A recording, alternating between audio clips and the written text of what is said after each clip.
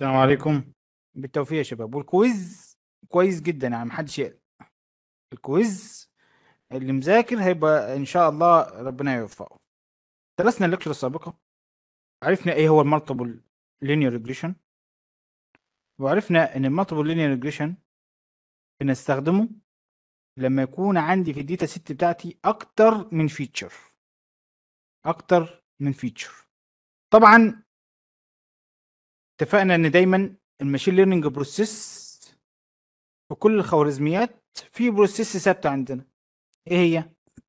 إن أنا دايما يكون عندي training set بستخدم ال training set عشان أكون machine learning algorithm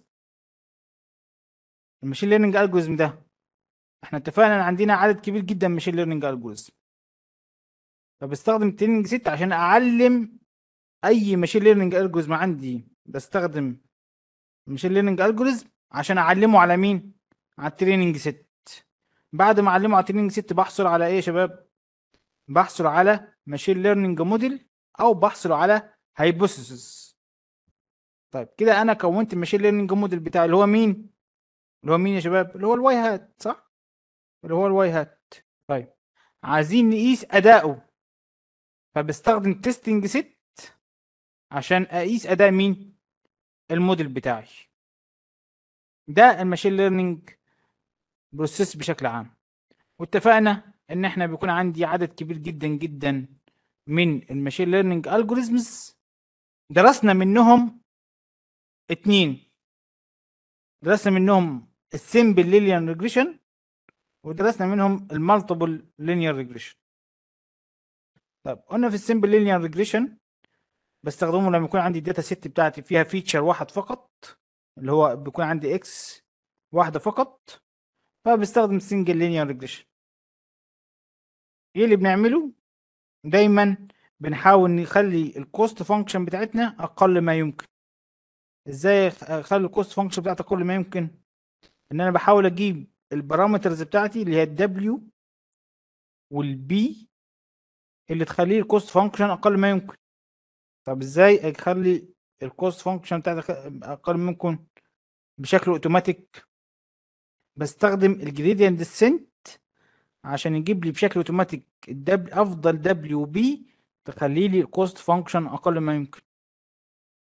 كذلك تعلمنا ال lecture السابقه إن إحنا عندنا نوعين من ال batch learning من ال learning أول نوع بنسميه ال batch learning والنوع الثاني بنسميه ال online learning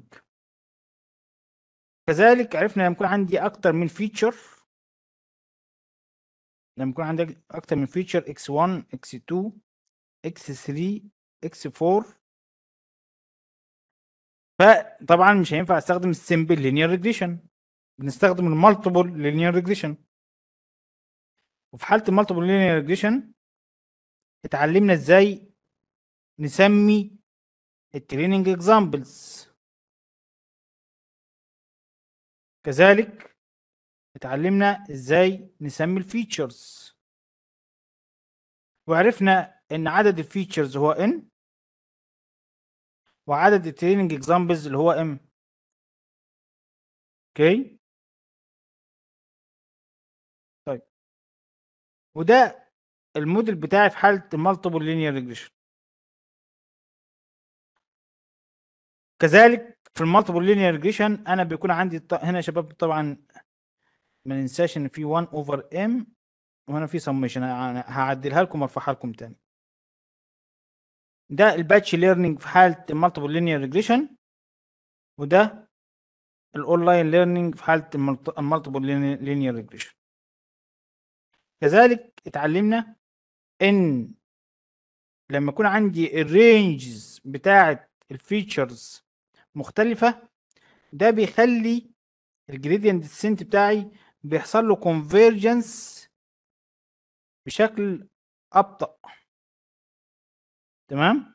ولكن لو عملنا rescaling عملنا scaling بحيث نخلي ال features يكون ليها range قريب من بعضيه ده بيخلي ال gradient descent بتاعي بيحصل له convergence بشكل أسرع من الطريقة الأولانية. وعرفنا إن في ثلاث طرق من ال scaling أول طريقة اللي إحنا بنقسم على أكبر قيمة. إن عشان أعمل scaling feature بجيب ال maximum value وأقسم كل قيم بتاعة ال feature ده على ال maximum value الطريقة الثانية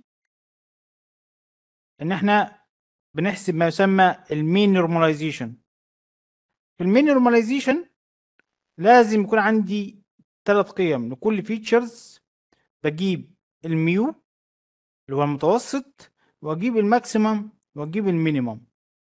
وأستخدم الفورمولا دي عشان أعمل rescale لكل value في ال features بتاعتي. الطريقة الثالثه وهي ال z-score normalization في ال z-score normalization محتاج أجيب ال mu وأجيب ال standard deviation اللي هو السيجما. تمام؟ واستخدم ال relation دي عشان أعمل rescale لكل القيم بتاعت ال attribute بتاعتي. ده كان مراجعة سريعة على ال lecture بتاعت المحاضرة السابقة. السؤال الآن إزاي أعرف إذا كان ال gradient descent algorithm سواء في ال linear regression سواء ال linear regression طبعا هنا نقصد بيه linear regression أو ال multiple linear regression إزاي نعرف إذا كان ال gradient descent بيشتغل كويس ولا لأ؟ إحنا عرفنا إن ال gradient descent لو خدنا ال cost function بتاعته وافترضنا مثلا b بـ zero فال cost function بتاخد شكل قريب من الشكل ده. السؤال الآن. لو أنا هنا بدأت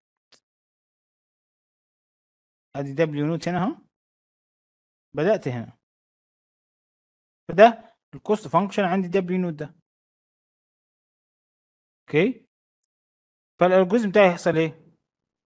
لو جيت نسيت أنا اخترت طبعا ال learning rate بشكل كويس هلاقيه بيحصل له كده صح كده؟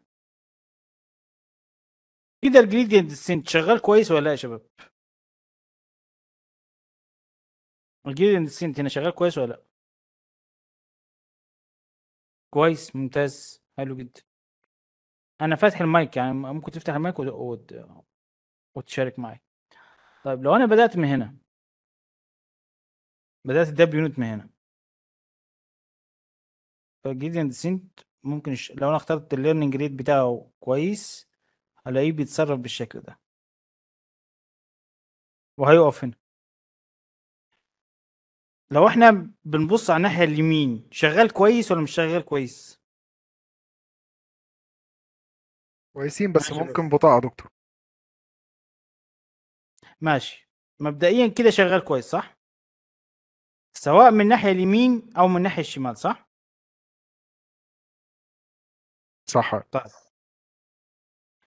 يبقى أنا لو لقيت ال gradient descent بيتصرف بالطريقة دي ده إشارة إن هو شغال كويس صح؟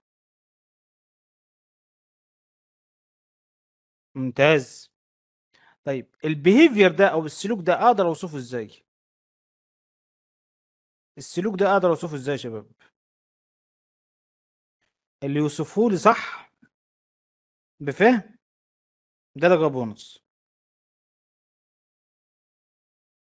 السلوك ده أقدر أوصفه إزاي؟ عايز أوصف السلوك اللي قدامي ده. أوصفه إزاي؟ واحدة واحدة كده. إيه اللي بيحصل قدامي؟ تعال نمسك مثلا الناحية من على اليمين. إيه اللي بيحصل هنا؟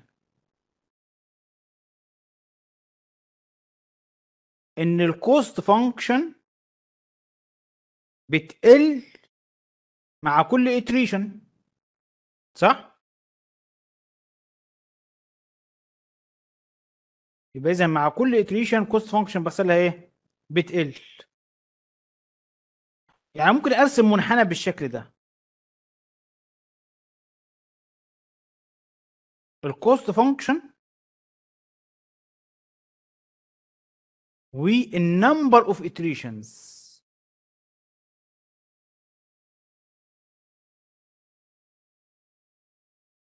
إيه اللي بيحصل؟ انه كل ما بيزيد ال number of iterations إيه اللي بيحصل ال cost function تل بتقل.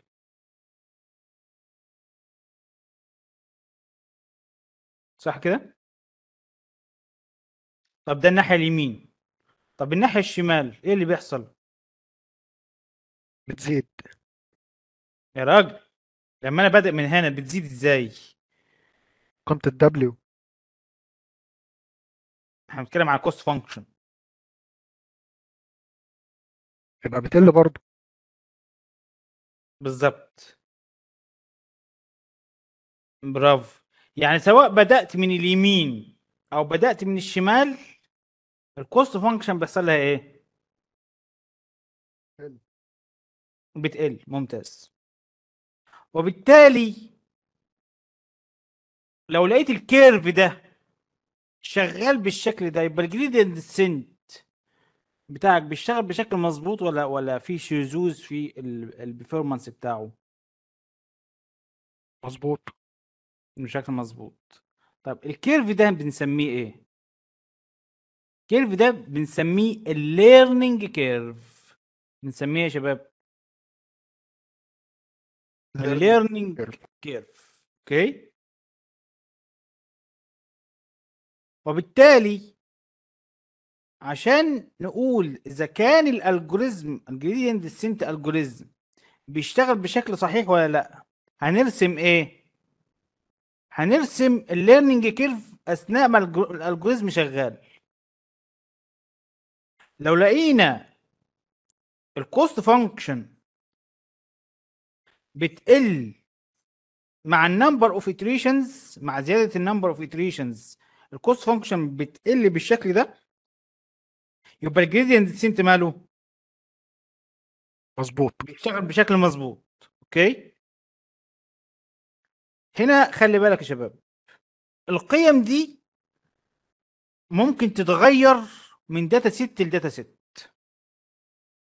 okay يعني ممكن في data set تاني تلاقيها مثلا 1000 2000 3000 4000 ممكن تلاقيها مثلا 10 20 30 40 ممكن تلاقيها مثلا 5 15 وهكذا.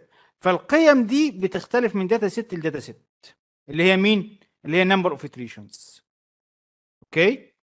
لكن ال curve ده دايما ثابت.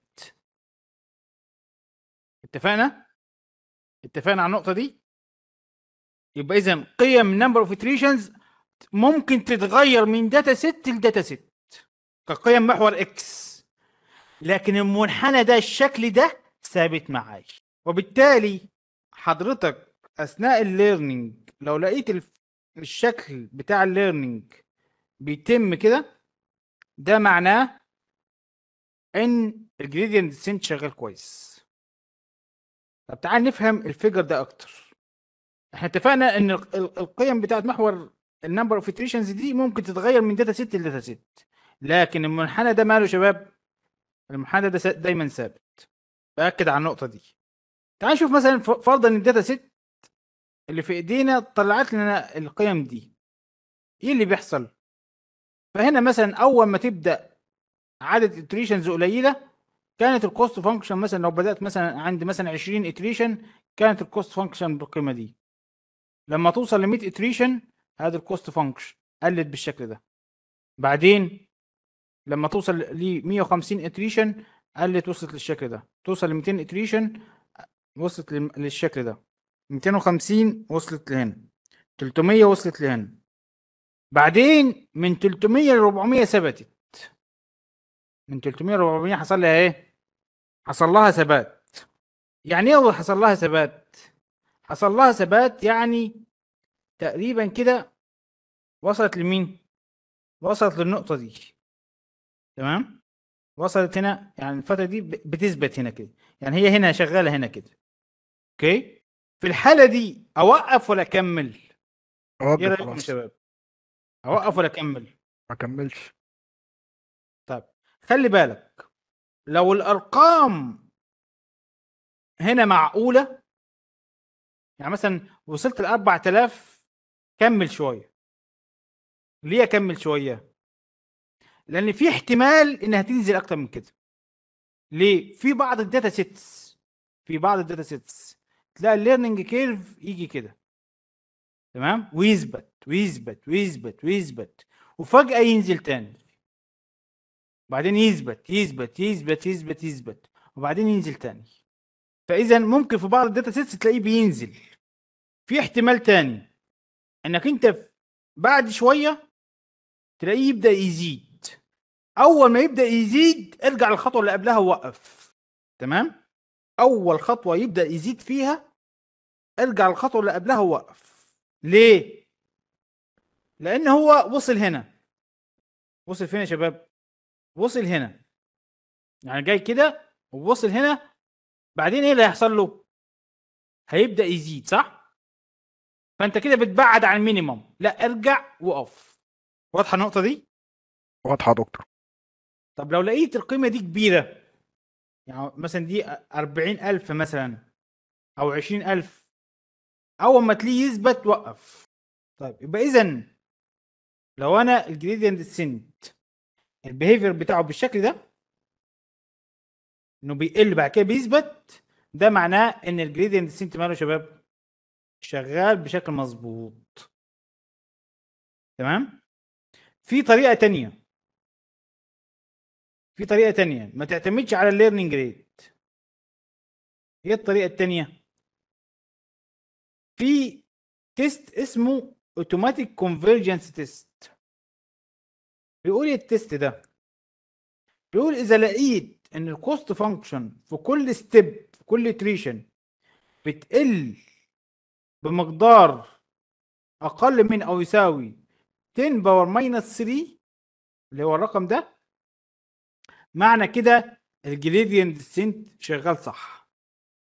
يبقى ال test ده بيقول لو انت لقيت ال cost function في كل iteration بيقل بمقدار أقل من أو يساوي واحد من ألف يبقى يبقى ال gradient descent شغال صح. بس الطريقة المشهورة اللي هي ال learning curve دي هي الطريقة المشهورة. وضحت وضحت يا شباب؟ تمام. يا دكتور. وبالتالي لو انت اخترت ال learning rate بشكل كويس أو بشكل صغير ده ال behavior بتاع ال learning rate بتاع ال learning curve السؤال لو انت اخترت ال learning rate بتاعك عالي إيه شكل ال learning curve fail to converge هيبقى تعال نشوف ممكن يتم إزاي. لو انت مثلا اخترت قيمة initial وجابتك هنا. تمام؟ وانت اخترت ال alpha large too large فممكن تجيبك هنا. بعدين تجيبك هنا.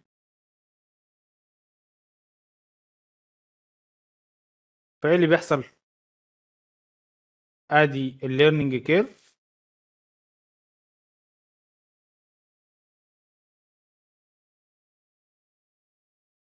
cost function كانت هنا. ادي قيمة كبيرة شوية. بعدين قلت جت هنا. يبقى هتقل من هنا لهنا. بعدين قلت كمان. هتقل كمان. بعدين ال learning rate بتاعك عالي. فممكن يجيبك هنا. صح؟ فترتفع بعدين تقل. بعدين ترتفع. بعدين تقل. بعدين ترتفع. إيه اللي بيحصل هنا ال learning curve إيه اللي بيحصل له؟ overshoot بيتذبذب. بيحصل له إيه؟ بيتذبذب صح؟ هيبقى الشكل بتاعه كده صح؟ يبقى لما تلاقي ال learning curve بتاعك بيتذبذب ده معناه إيه؟ ده معناه انك انت اخترت learning rate عالي جدا. okay؟ برافو بالظبط كده. سؤال كمان. لو لقيت ال learning curve بتاعك بالشكل ده ده معناه إيه؟ ده معناه حاجة من اتنين. ده معناه حاجة من اتنين.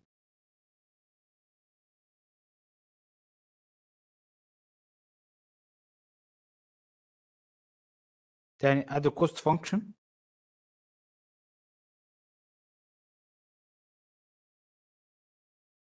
أحيانا ممكن أنت تختار ال learning rate عالي شوية. تختاره عالي شوية. فمثلا تبدأ من هنا. okay؟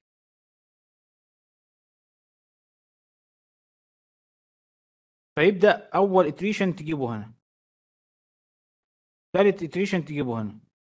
رابع iteration تجيبه هنا. خامس iteration تجيبه هنا. سادس iteration تجيبه هنا. فإيه اللي بيحصل؟ إن هو كان واطي. okay؟ بيقل لسه برضو. بعدين بيحصل له إيه يا شباب؟ ال cost function مالها بتزيد كل مرة صح؟ بتزيد آه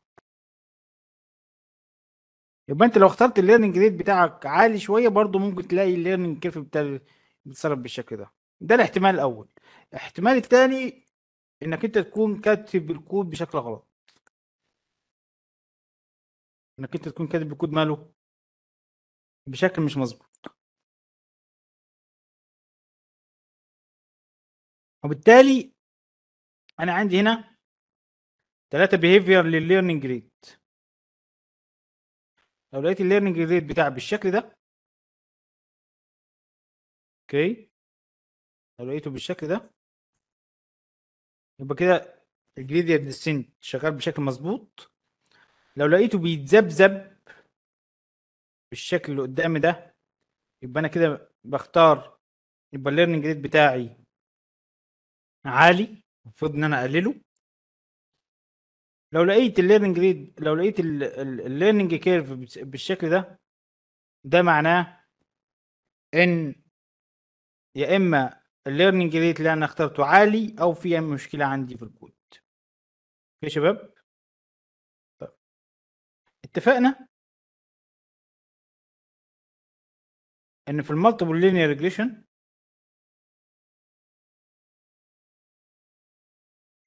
بستخدمه لما يكون عندي أكتر من feature طيب.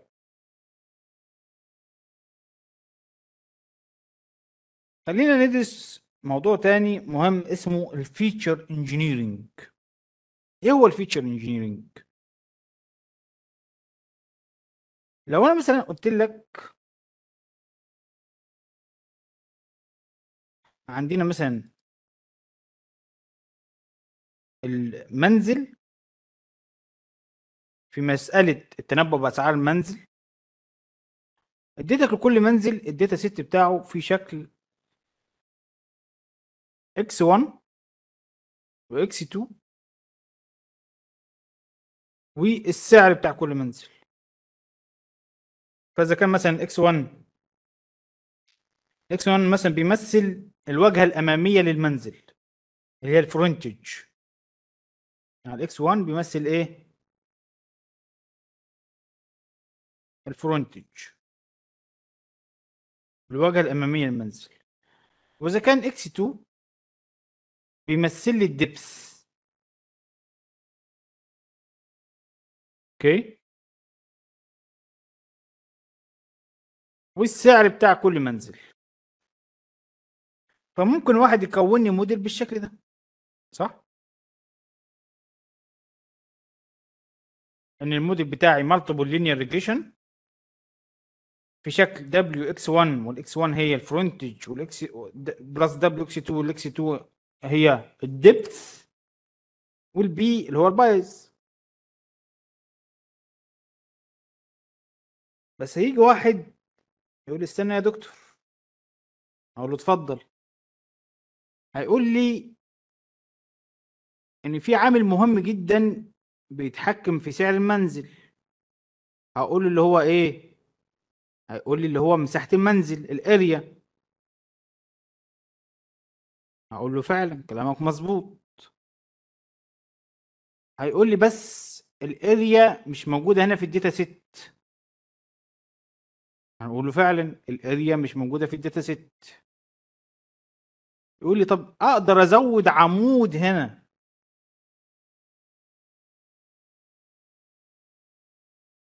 أقدر إن أنا أزود عمود هنا أسميه x 3 يمثل لي مساحة المنزل هقول له هتجيب القيم إزاي بتاعة المساحة؟ يعني لو سمينا الإكس 3 ده اللي هو الأريا. هيجيب مساحة المنزل إزاي؟ هيقول لي آه استنى يا دكتور. أنا شايف تقريبا إن المنزل مساحته مربعة. هقول له أيوه. أو مستطيلة هقول له بالظبط. هيقول لي ده أنا درست زمان إن مساحة المستطيل هي عبارة عن مين؟ ال length times ال width صح كده يا شباب؟ إن ال area هي عبارة عن ال length times ال width وبالتالي أقدر أقول إكس إكس 3 اللي هي ال area بيساوي ال frontage times ال depth مظبوط هقول له مظبوط. يقول لي يبقى اذا x 3 أقدر أقول إن هي x 1 plus x 2 أقول له مظبوط هيقول لي بسيطة. يبقى أخد القيمة دي أعملها multiplication للقيمة دي والقيمة الجديدة أحطها هنا. أخد القيمة دي أعمل لها multiplication للقيمة دي والقيمة الجديدة أحطها هنا. والقيمة دي اعمل لها multiplication القيمه دي والقيمة الجديدة أحطها هنا. أقول له مظبوط. يقول لي اذا أقدر أكون موديل جديد. هو عبارة عن w times x 1 وال x 1 هي ال frontage plus w 2 times x 2 وال x 2 اللي هي ال depth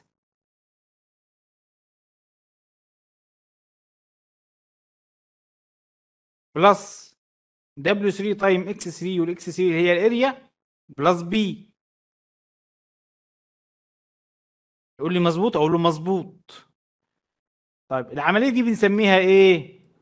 العملية دي بنسميها ال feature engineering بنسميها يا شباب ال feature engineering يبقى حضرتك لو قدرت تجيب أو تعمل design ل feature جديدة من في ال data set من خلال إنك أنت بتربط ال features بطريقة ما أو بأخرى عشان تكون feature جديدة دي بنسميها يا شباب بنسميها ال feature engineering بنسميها إيه؟ ال feature engineering فال feature engineering إنك أنت بتاخد ال features أو بعض ال features مش شرط تاخد كل ال features ممكن تاخد بعضها وتربط بينها بعلاقة ما تمام؟ عشان تكون feature جديدة دي بنسميها ال feature engineering طيب. تعال ناخد example على ال feature engineering لو أنا اديتك قلت لك مثلا فرضا في ال data set بتاعت التنبؤ بأسعار المنازل إن أنا اديتك إكس اللي تمثل ال size بتاع المنزل و y بتمثل لي السعر. فاديتك قيم بالشكل ده.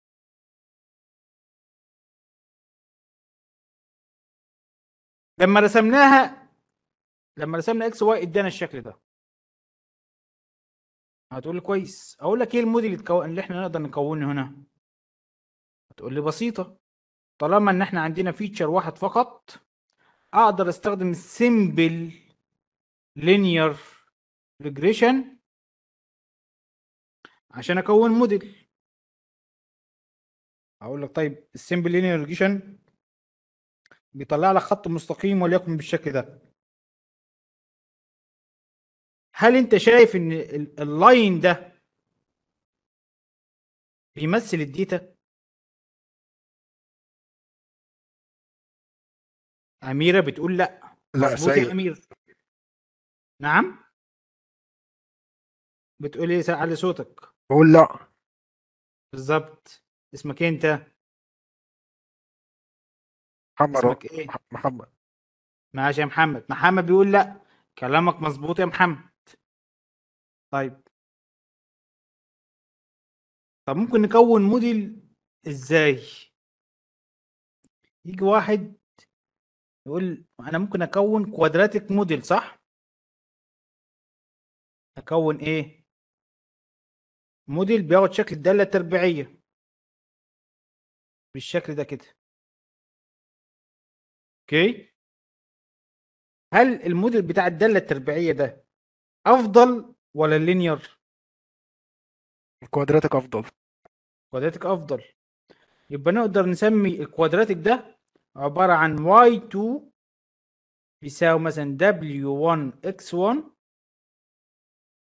أو w1x plus خلي بالك ده معادلة quadratic معادلة تربيعية. يعني أنا عايز term يكون quadratic في ال feature. يعني عايز حاجة بالشكل ده. W2x square plus b هل أنا عندي هنا في ال data set x square هتقولي لا أنا عندي x بس يجي واحد يقول خلاص بسيطة. أزود عمود أسميه x square وأخد كل قيمة من هنا أعمل لها squaring فتديني القيم المقابله صح؟ نقول له صح وبالتالي يقدر يكون الموديل ده مفيش مشكلة. يجي واحد يقول استنى يا دكتور. أقول له اتفضل يا ابني. يقول لي خلي بالك إحنا هنا بنتنبأ بأسعار المنزل. أو له يقول لي ب- بس الداله التربيعية بتيجي عند لحظة معينة وتبدأ تنزل. تمام؟ أقول له مظبوط. يقول هل من المنطقي إن لما تزيد مساحة ال- ال- السايز بتاع المنزل سعره يقل؟ هقول له مش منطقي. يبقى اذا الموديل ده الموديل ده كويس؟ لأ يبقى الموديل ده برضو ما ينفعش.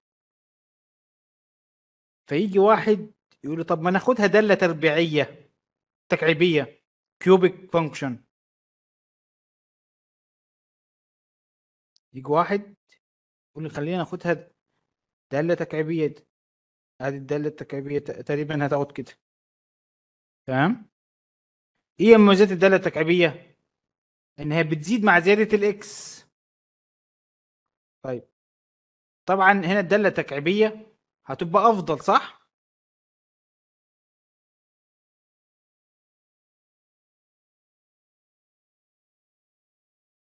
بس محتاجين نكون إيه يا شباب؟ محتاجين نضيف feature لل x cube. يبقى هاخد كل قيمة x وأرفعها ل power 3 يبقى إحنا كده عملنا إيه يا شباب؟ عملنا إحنا كده. عملنا feature engineering لأن إحنا ضفنا features جديدة على ال data set مظبوط ولا حد عنده استفسار؟ وبالتالي ممكن أكون يبقى أدي ده. طبعا واضح هنا يا شباب إن أدي الموديل في حالة ال qua... ال... ال... ال quadratic.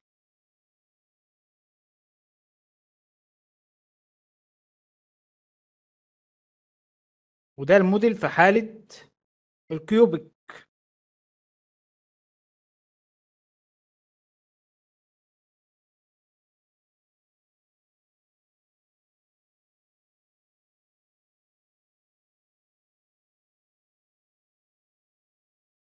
طبعا واضح جدا. لما- مع زيادة ال x ال size بتاع المنزل بيحصل له إيه؟ بيزيد. مظبوط كده؟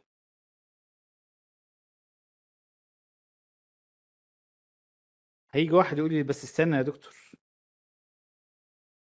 الزيادة بتاعت الموديل مع ال x بتزيد بشكل كبير قوي.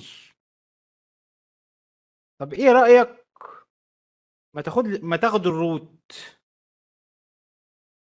ما تاخد إيه؟ ال root هيقول مثلا ال root function بتاخد behavior بتاع الزيادة بتاعت ال x square ولكن ما بتقلش. ولكن مالها؟ ما بتقلش. بتزيد زيادة بسيطة. يعني ممكن ناخد الموديل بتاعنا بالشكل ده. تمام؟ طيب انت عندك ال data set بتاعتك فيها ال x وال y ولكن عشان تكون الموديل دي محتاج إيه يا شباب؟ محتاج root x يبقى أنت هنا هتكون feature جديد بحيث إنك أنت تاخد ال root بتاع كل قيمة وتحطه. واضحة النقطة دي؟ واضحة النقطة دي يا شباب؟ السؤال الآن السؤال الآن. حضرتك هنا كونت features جديدة. هل ال range بتاع ال features الجديدة شرط يكون قريب من ال range بتاع ال feature الأصلية ولا ممكن يختلف؟ الرينج بتاع الفيتشر الجديدة هل هيكون ليه نفس؟ يعني ال range بتاع X square و X cube هل بيكون لهم نفس ال range ولا ممكن يختلف؟ اختلف ممكن يختلف. أيوه. تمام؟ يعني هنا مثلا الرينج بتاع روت إكس واكس وارد إن يكون في خلاف كبير. في الحالة دي هنعمل إيه؟ خلي بالك لما تعمل feature engineering ممكن تحتاج إنك تعمل إيه؟ feature scaling ما تنساش الموضوع ده. ما تنساش الموضوع ده يا شباب. Okay؟ خلينا ناخد example مثلا. لو أنا مثلا قلت لك عندك data set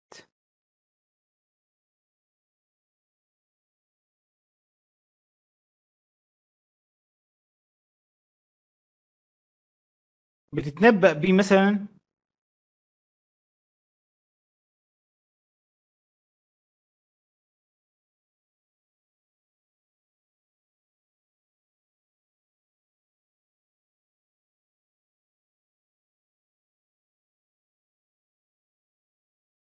في عندك circuit بالشكل ده؟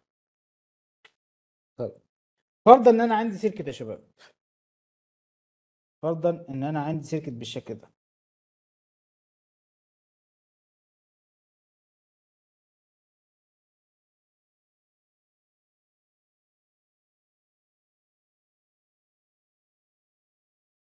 فيها مقاومة. تمام. وفيها مثلا ملف. فيها مثلا capacitor.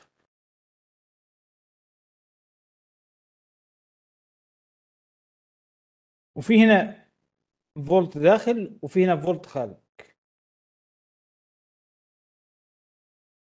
فهنا في V in وطبعا المقاومة دي أنت بتقدر تلعب فيها. وفي R مقاومة وفي V out okay؟ واديتك مثلا ال V in هنا مثلا ب 5 وهنا ال R مثلا ب 20 وال V out مثلا ب 3 7 30 5 مثلا 4 27 مثلا 6 8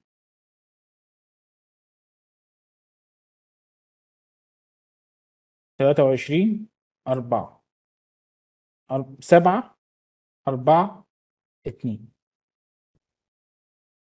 وفرضا إنك كنت رحت كونت موديل بالشكل ده بحيث إن ده ال target يا شباب ده مين ده ال target وده X 1 وده X 2 صح كده؟ يبقى ده X 2 وده X 1 فرضا رحت حضرتك كونت موديل بالشكل ده W1 time X1 plus W2 time X2 plus B.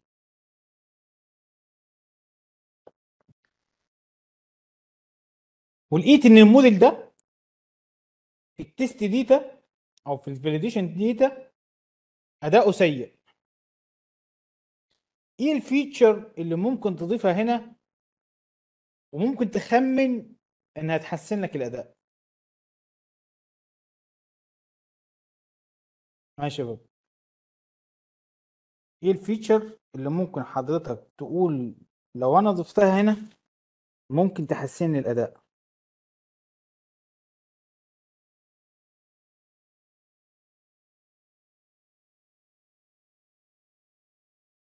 امم حد عنده اقتراح؟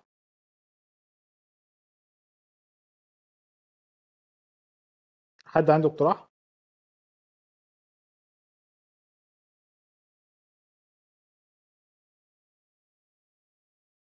محدش عنده اقتراح؟ يا شباب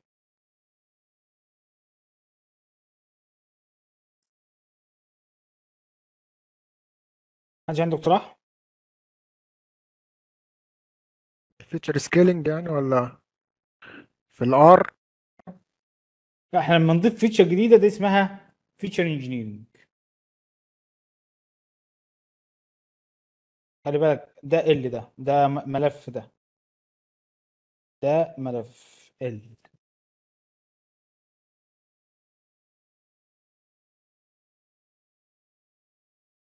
امم لا مش بقى المقاومة خلاص. أنا دي ما فقدتها وأنا كل اللي عندي دلوقتي الجدول ده. كل اللي عندي دلوقتي الجدول ده. فبالتالي مش هقدر أعدل في حاجة هنا. أنا اللي عندي مين؟ الجدول ده.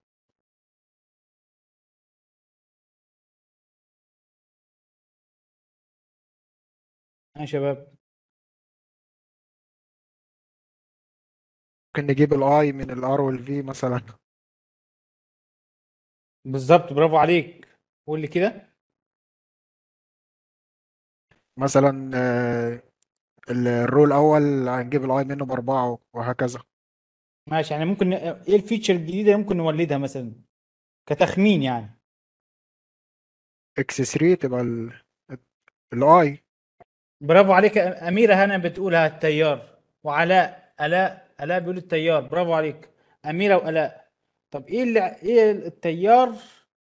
أقدر أجيبه إزاي من ال- ال data اللي قدامي دي؟ الاي بتساوي الفي على الار الاي بيساوي في اوفر ار يعني X 1 over X 2 صح كده؟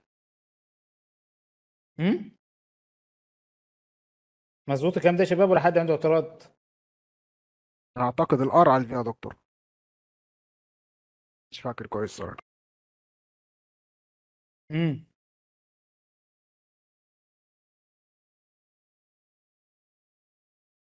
قانون اوم يا شباب. قانون اوم بيقول إيه؟ قانون اوم بيقول إيه قانون اوم ممكن تدور عليه على النت على طول بسرعة. بيقول إيه قانون اوم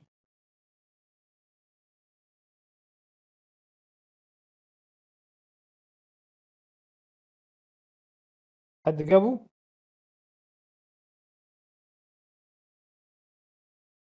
إن I بيساوي V over R مظبوط. تمام. V over R يعني أنا ممكن أقسم X 1 over X 2 أجيب مين؟ ال I. وال I دي أسميها X 3 مثلا. يبقى ممكن أضيف عمود هنا ثالث أسميه X 3 وأقسم 5 over 20 7 over 13 4 over 27 Okay تمام يا شباب؟ 8 over 23 7 over 4 واضيف هنا أقول الموديل الجديد بتاعي هو W1X1 plus W2X2 plus W3X3 plus B. بس ما انساش أعمل feature scaling ما انساش أعمل feature scaling ها؟ وأشوف هل الموديل اللي أنا كونته من إضافة feature جديد ده هيأثر معاي بالإيجاب ولا بالسلب؟ يبقى إذا موضوع إن حضرتك تضيف feature جديدة على ال data set ده بنسميه يا شباب بنسميه ال feature engineering يبقى إيه هو ال feature engineering ال feature engineering إنك أنت use intuition to design new features. عشان تعمل design إلى feature جديدة. باستخدام إنك أنت بتستخدم بعض ال features اللي عندك في ال data set أو تستخدمها كلها. تمام؟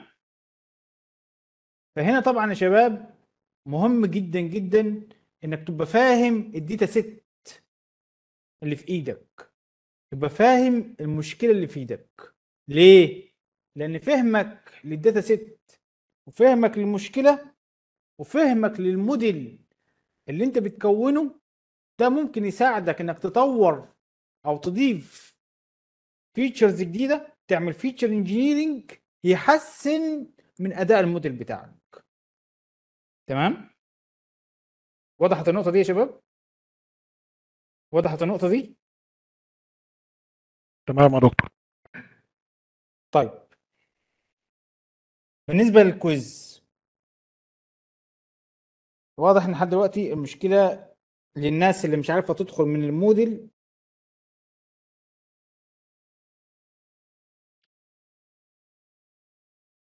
لسه ما اتحلتش من ماجويل فاتفقنا الناس اللي ما عندهاش مشاكل من الأول هتدخل بشكل عادي خالص يا شباب ماشي؟